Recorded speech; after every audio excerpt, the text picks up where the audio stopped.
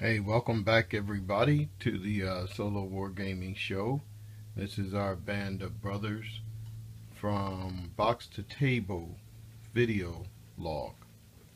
So the last time we left, I think we had looked at the templates and the markers. And I told you guys I was still working on my airborne. So in this this log or vlog, the airborne are completed. We'll see if we can get a good shot of those for you. So that's pretty much the 24 man airborne squad. They're painted, they're based, and actually they're I'm pretty pleased with them. I was gonna hold out to get 82nd airborne decals, but uh, not knowing when I'm going to be able to place another order with Warlord Games. and uh, I didn't want to leave these with no decals until then. I decided to go ahead and do some up uh, with the, some extra 101 uh, decals that I had. So, if you can see here, this is one of my uh, Pathfinders. You can focus. There we go. So this is one of the Pathfinders that's completed.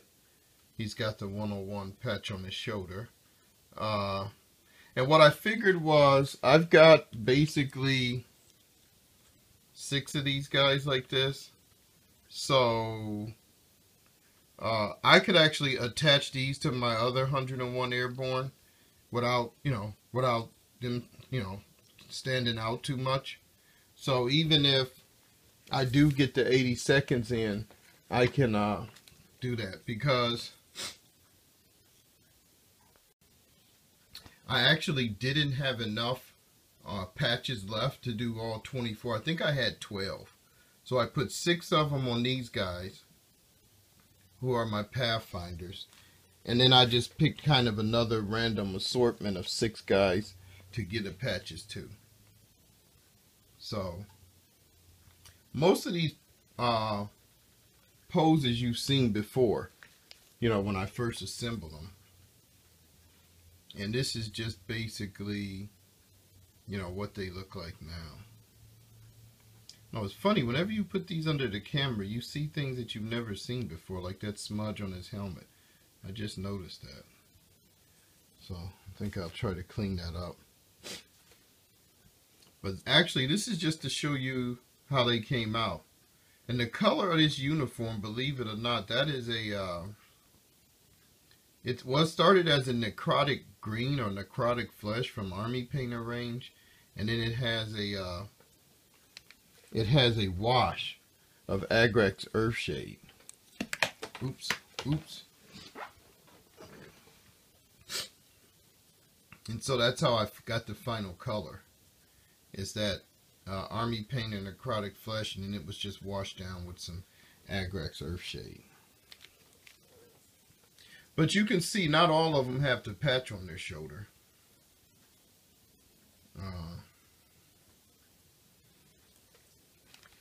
which, I mean, I could always order some more 101 and finish them off, or I could actually order some 82nd, and I could still do a 12 or 6 man unit of 82nd Airborne. So, that's an option that I'm leaving open. This is guy with the pigeons. Let's get another few in here. These are all my airborne. This is a officer with his map. Or I guess maybe a sergeant with the map. Oh, I don't know if he has the patch or not. It's not. The light is not catching. Is that the patch? No, he doesn't have a patch. That's just a smudge, I guess. I think I was waiting to try to find some officer bars for this guy. You probably can't see it, but that is actually a map in there. I got it from one of my uh, one of my uh, airplane model boxes.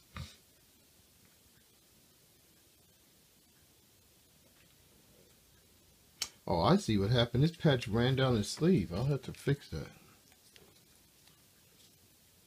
The wash probably caused it to roll down there. And then again, you see we have one guy with the patch, the other one without. I put the rank on the right arm of some of these. Later on, I realized, or at least I noticed in the pictures, that the airborne actually have U.S. flags on their right arm, and then the rank is underneath that. Of course, I didn't have any U.S. flags, so I don't know if I get the flags. I, there might be enough room to squeeze it on there. If not, I'm not going to worry about it. And I actually went back over my Germans. I, I don't know if the last time I showed the Grenadiers whether they had been based or not. So this is the finished and the based German Grenadiers. So they actually look a lot better now that they have some uh, some basing on them. And I think most of these I did with like a brown and then I just dry brushed them with what's called a tan yellow. I think it's a uh, it's a, uh, is it Vallejo tan yellow or, you can see it might be game color. Oh, it's model color. So it was a model color tan yellow. Which I, I kind of like the way it gave it that effect. It does look more like ground or earth.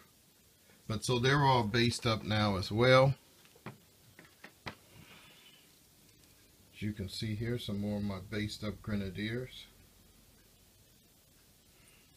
So they all of them look a lot better than the last time I put them under camera. I also redid my uh, effect markers. So they look a little bit more like flames now. You know, before I just had them in one in yellow, one in red. So this time I, uh, orange and red. This time I put some yellow in there and gave the, the whole thing more of a, uh, everything looks now a little bit more like flame. And so pretty much, I think that's, that's everything you get in the pack. Right? So we have our, we have our airborne models, 24 of them. We have our grenadiers, 12 of them. We have the half track the markers, the house, the townhouse. So all of this has been completed during the, this video log. Now, I don't know how long it's taken me. I haven't kept track. I'm assuming it's been about two weeks since I started. But, uh, you know, I just did a little bit at a time. I wasn't really trying to rush anything. Uh, I didn't feel like I had to get it done for a weekend or for a, uh, you know, or for a, a, a convention or anything like that. Uh, let me see.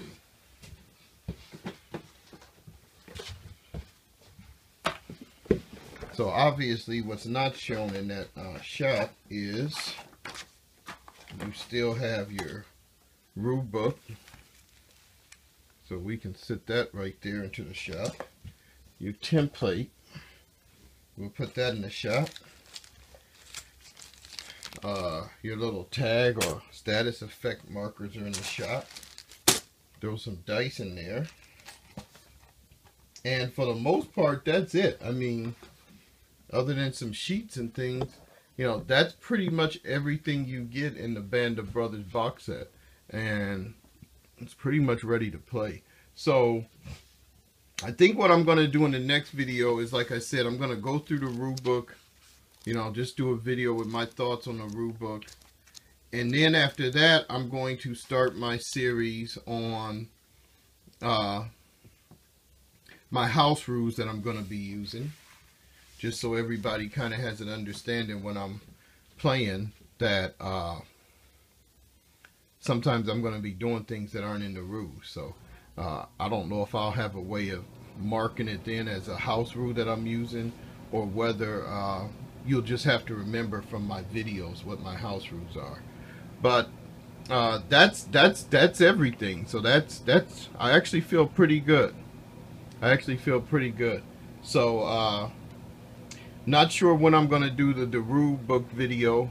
I figure I'll probably do that in a couple of parts and then put them all together in one video. So it might take me about two or three days to get it up.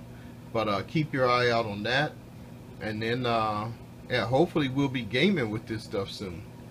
Take care.